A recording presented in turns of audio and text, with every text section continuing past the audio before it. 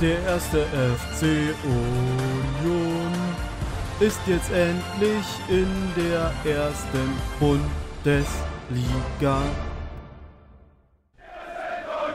Hallo und herzlich willkommen hier aus dem Borussia Park.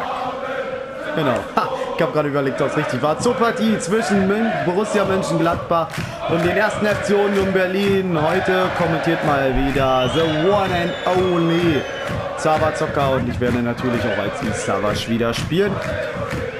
Ja, ähm, heute geht es um viel. Gladbach will oben dran bleiben für die Champions League Plätze. Bayer Leverkusen steht übrigens jetzt schon vor Gladbach.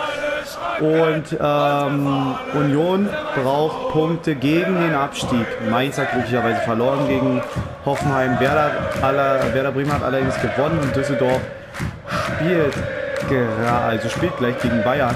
Äh, zu der Zeit spielt es vor. Sommer erstmal im Tor. Dann Wendt, Elvedi, Ginter und Leiner auf dem Spielfeld. Dann Neuhaus und Zakaria im Mittelfeld als Sechser. Turam, Stindl und Hoffmann. Und Player weiter vorne im Sturm.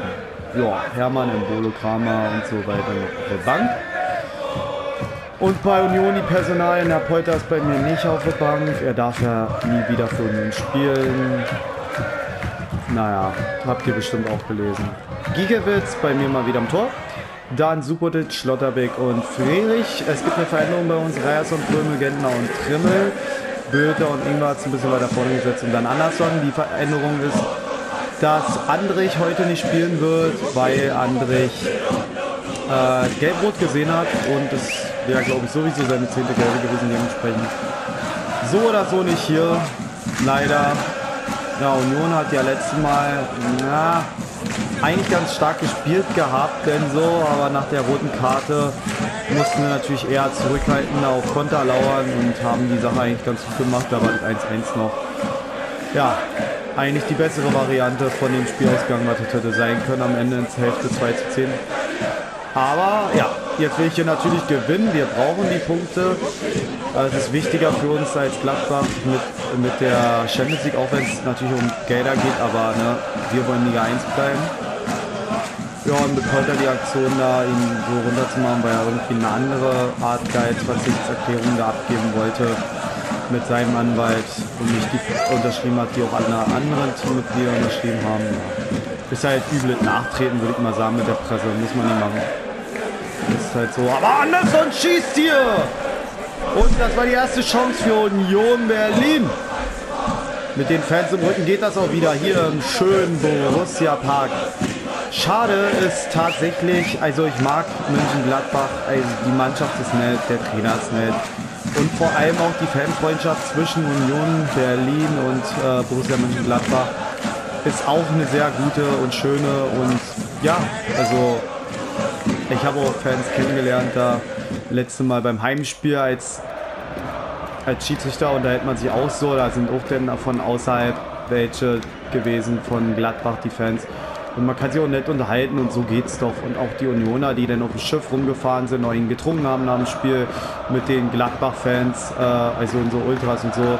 Also, so kann's sein, so wie der Schuss von Bülter, denke ich. Links außen müsste eigentlich Bülter gewesen sein. Ja, war die Bülter. Ah, da hält Sommer aber auch gut. Und so kann es eigentlich immer sein, dass man sich als Fans gut versteht. Leider jetzt natürlich eher nicht machbar, sich zu treffen und gemeinsam zu trinken. Aber ja, im Herzen vereint für den Fußball, sage ich mal so. Oh, ich dachte, er wäre am Abseits. Aber Böter nochmal auf. Ingwarzen, aber klappt nicht. Schlotterbeck hat ihn abgefangen, gut. Ah, und jedenfalls, ja, na, letzten Mal das Unentschiedene war schon die bessere Variante zu 10, denn, also, ja, zu 11 wäre vielleicht mehr drin gewesen, aber was soll's. Es ist leider so. Aber klar, wir brauchen Punkte und wir brauchen mindestens zwei Siege, um irgendwie die Klasse zu halten. Außer alle anderen, also die anderen Mannschaften verlieren permanent, aber Düsseldorf ist gerade so im Aufwind. Wird schwierig. Union kann sie weghalten, aber wir wissen es ja, unsere Mannschaft ist leider oft zu nervös, wenn es in so richtig richtigen Kracherspielen um alles geht. Das war auch beim Aufstieg so. irgendwie schlottern die in die Beine, weil das für die halt wichtig ist. Ne? Und ohne Fans halt schwierig. Aber hier im Spiel sind Fans. Und ja. Mal sehen, wie das läuft. Gewinnen will ich hier natürlich, damit wir auch in echt natürlich gewinnen. Auch wenn ich letztes Mal 1 gewonnen habe. War dann 1-1. Aber ich meine, Gladbach hatte bei mir ohne Chance. Wäre reingegangen, wäre auch 1-1 ausgegangen. Oh! Oh, nein, nein, nein! Oh, und Gladbach mit der... Boah, mit diesem Hochkaräter, mit der krassen Chance vom Tor. Da ist der Ball... Uh. Ja, direkt durch Abwehr gekommen. Also war gefährlich, da muss ich aufpassen. Profi ist manchmal unberechenbar. Erst läuft nichts und dann bei denen und dann sind die auf einmal gut Ball. Ja, Ryerson aber echt eine gute Wahl für Lenz. Ich hoffe ja, dass Lenz eigentlich spielen kann, aber jetzt erstmal Ryerson, weil bisher nicht so aussah, dass Lenz wieder kann. Und ja, Kopfball von Anderson jetzt.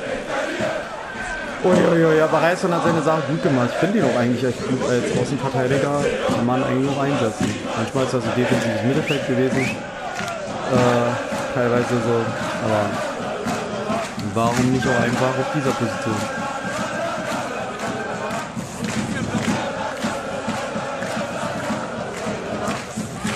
Immer wieder.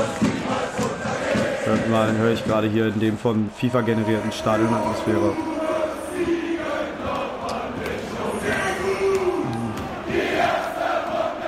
Interessant, sonst höre ich meist nur Schalke 04 irgendwie. Von mir her, was doch ganz komisch ist. Egal welche Mannschaft spielt. So.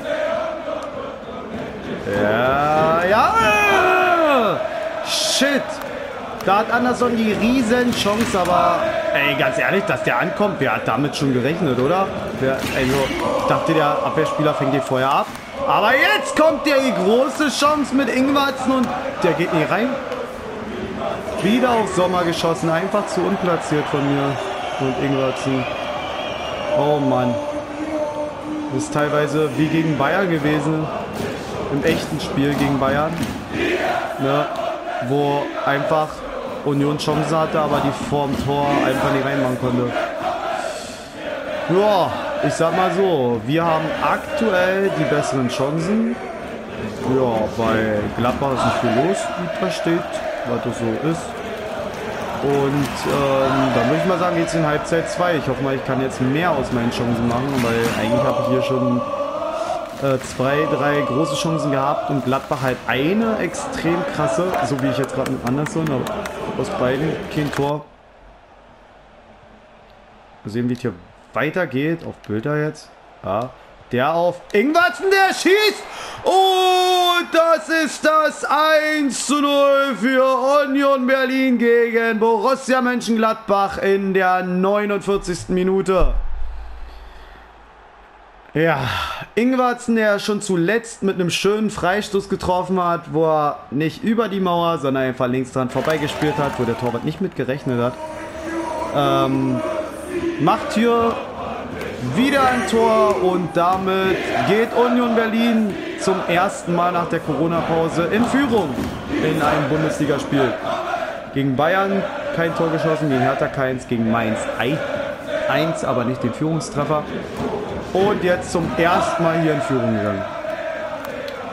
Ich hoffe, dass die Eiserne Bundesliga sich auch auf die Corona-geplagte, echte Bundesliga überträgt und vielleicht wirklich den Sieg holen kann gegen Gladbach. Das wünschen wir uns doch alle. Außer vielleicht die Gladbach. -Fans.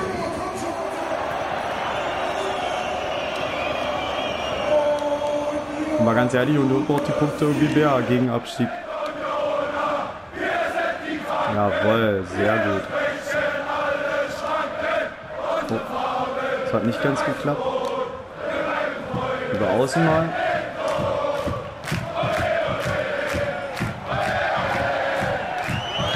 Ja, sehr gut auf Anderson und der macht das 2 zu 0. Hier gegen Gladbach.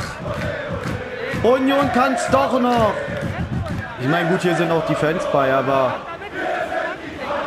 eigentlich für uns Fans können sie. Eigentlich müsste man auch ein Video machen ne, mit Hashtag Wir glauben an euch und dann alle Fans den Unionern Mut zu sprechen, zumindest im eigenen Stadion, dass man es abspielen könnte. Sonst jeder, der in der Infosserei öfter ist, kennt. Sonst ist aus dem Training und der Vorbereitung aufs Spiel sieht man mit einer coolen Musik im Hintergrund im Grunde die Vorbereitung der Mannschaft. Aber wenn quasi ein Fanvideo vorher ablaufen würde, anstatt dieses Vorbereitungsvideo, was sonst immer ablief, ich glaube, das würde die Mannschaft doch echt unterstützen. Die wissen natürlich, die wissen ja, für wen sie es machen, aber das ist halt so nochmal ein bisschen Unterstützung, ne? Dass man weiß, die Fans sind da und jedenfalls vor den Fernsehern und von Fernsehgeräten und glauben noch an, an die Mannschaft weiterhin. Weil irgendwie, ja, es, man ist halt so, oh, nicht präsent. Zwar in den Köpfen der Spieler präsent, aber eher die Abwesenheit von uns Fans. Also, ja. Aber es gab auch jetzt eine Statistik, dass es viel weniger Heimsiege gab als letztes Jahr zur selben Zeit. Also am selben Spieltag. Ah, das Foul, das war... Ah, ey, bitte gib Gentner nur die gelbe. Das war doch... Ah, das war unglücklich.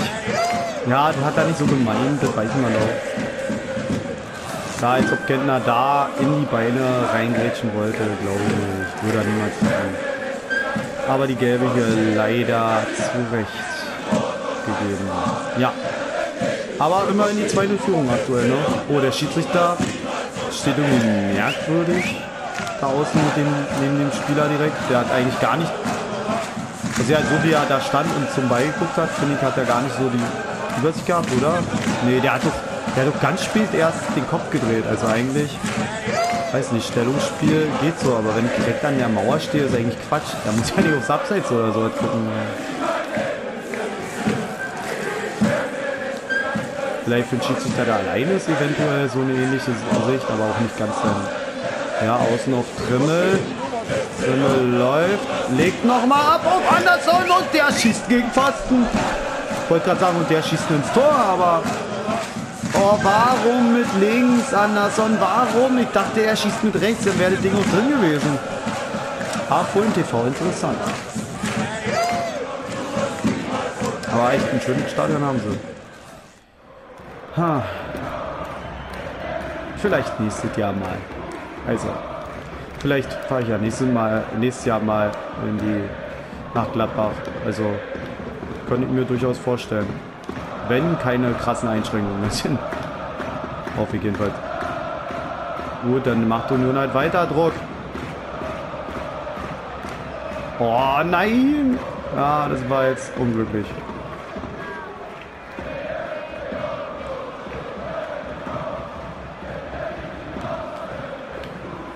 Gehe ich mal ein bisschen defensiver. Ich meine, Union würde auch im echten Leben, glaube ich, von Urs Fischer die Anweisung bekommen, ein bisschen defensiver zu spielen bei einem 2-0, vor allem weil man die drei Punkte braucht. Da will man nicht unbedingt noch mehr Tore machen, auch wenn es schön wäre, aber vielleicht ja jetzt noch eins. Anderson schießt! Und das ist das 3 0 für Union Berlin. Kurioses Spiel, aber Union hat ja auch im Hinspiel 2-0 gewonnen und das war ja, ja, nicht erwartet, aber Union hat es damals geschafft. Warum sollte nicht so sein? Könnte durchaus sein, aber ich muss so sagen, Union spielt hier besser auf Profi jetzt gegen Gladbach als letztes Mal gegen Mainz. Da war irgendwie ein schwierigeres Spiel. Ja, es war auch noch ein Update, was jetzt war. Letztes Mal habe ich ohne Update gespielt und da waren noch nicht die Stand, also die aktuellen Werte. Vielleicht lag es daran. Jetzt nochmal einen offensiven Akzent setzen mit der Auswechslung Money für Trimmel. Mal sehen. Aber vielleicht nur noch ein bisschen, Money kann er auch ganz gut trennen. Vielleicht nur noch mal ein bisschen, um im Mittelfeld schon abzuhalten. Ich meine, ich habe den Wechsel gerade vorgenommen. Ich hätte mir auch anders überlegen können, vielleicht. Äh, vielleicht noch einen Defensivmann zu bringen, aber... ich habe einfach den Wechsel genommen, den aber... Aber Gladbach scheint sichtlich geschockt von Unions Leistung hier in dem Spiel zu sein. Ja, jetzt nochmal ein Fernschuss, aber den hat Sommer gehalten. Wenn noch nicht ganz. Oh, Lenz ist bei mir auf der Bank. Sorry. Uh, ja, ziemlich auf den Torwart geschossen, aber wäre vielleicht unrealistisch, wenn ich die abschieße. Also durchaus möglich, aber sehr unwahrscheinlich.